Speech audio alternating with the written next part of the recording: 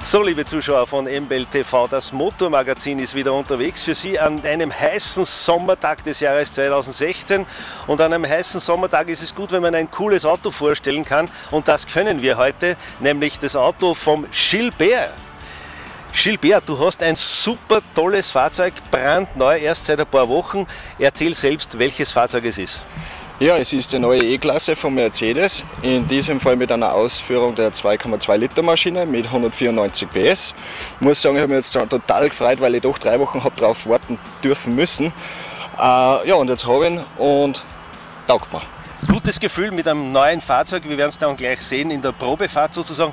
Aber kannst du nach wenigen Wochen jetzt schon sagen, bist du zufrieden damit? Ja gut, ich meine, wenn man mit dem Auto nicht zufrieden ist, dann kenne ich mich auch nicht mehr aus. Aber ja, bin sehr zufrieden. Zu den Besonderheiten des Fahrzeugs, meine Damen und Herren, kommen wir ein bisschen später noch. Jetzt wird es Zeit, dass wir uns die neue E-Klasse mal aus der Nähe betrachten. So, als erstes natürlich gleich der Blick unter die Motorhaube. Was hat er denn drin? Ja, wie gesagt, er hat eine 2,2 Liter Maschine, Diesel, mit 194 PS, einen recht guten Drehmoment, das ich jetzt auswendig nicht weiß, äh, aber einen sehr sparsamen Motor. Der Motor hat auch schon die Technologie, was die LKWs jetzt mittlerweile drinnen haben, und zwar eine Harnstoffeinspritzung, was den CO2-Wert drastisch reduziert. Und der Verbrauch bei dem Fahrzeug ist circa bei 5 Liter. Und das ist die Wahrheit und nichts als die Wahrheit. So schaut es aus. Dass die Innenausstattung bei einem Fahrzeug dieser Klasse exzellent ist, braucht man nicht extra erwähnen. Die Besonderheiten jedoch sehr wohl. Was bei dem Lenkrad ganz neu ist und was bei keinem Fahrzeug bis jetzt gegeben hat, ist, sind die sensitiven Knöpfe da oben. Habe ich mir am Anfang auch nicht vorstellen können, aber ist total angenehm zum Schalten, weil du einfach weniger Knöpfe am Lenkrad hast und viel mehr damit machen kannst auf kleinerem Platz, finde ich. Und nachdem man es von den Smartphones eh schon gewohnt ist, ist das eigentlich überhaupt keine Umstellung. Nicht im Gegenteil, ich empfinde es als sehr angenehm. Extra herinnen die ambiente Beleuchtung. Ganz eine tolle Sache, wenn man am Abend fährt, weil es einfach eine ganz eigene Atmosphäre im Auto schafft. Und ich kann die Farben wechseln von blau auf rot, auf grün, auf violett, was ich halt gerade gern haben möchte.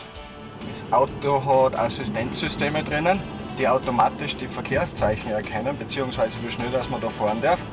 Und wenn der aktiv ist, wie man sieht, lenkt sogar das Auto selber den Weg entlang.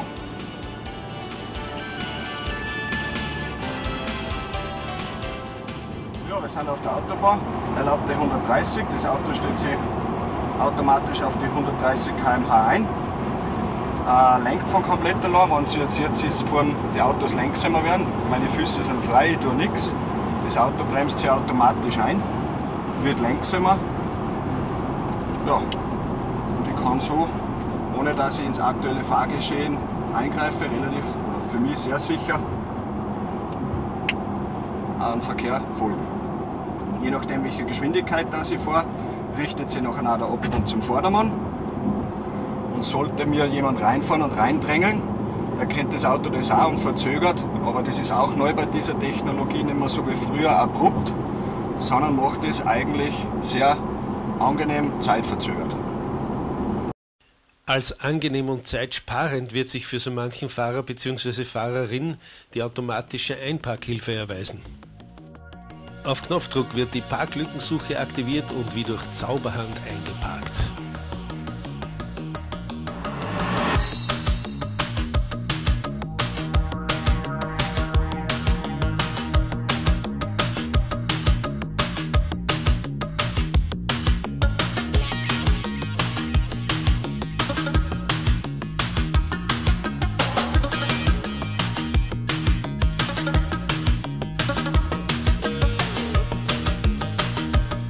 Ja, Gilbert, es war sensationell mit dir die Probefahrt jetzt zu machen. Wir haben alles dabei gehabt.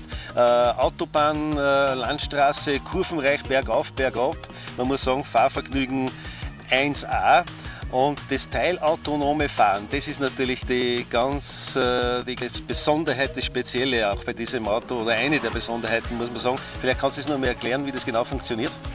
Ja, es ist eigentlich relativ einfach. Man gibt ein Tempomat hinein, und das Auto fährt von ganz allein eine Liste Verkehrszeichen. Je nachdem, welche Geschwindigkeit erlaubt ist, stellt sich der Tempomat automatisch drauf ein und auch das Lenkrad steuert der Straße entlang.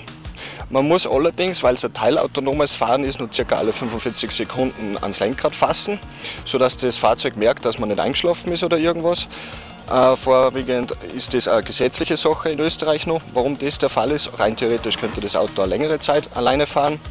Aber ja, für mich ist das ein relativ entspanntes Fahren, gerade wenn viel Verkehr ist, weil ich mich nicht so konzentrieren muss.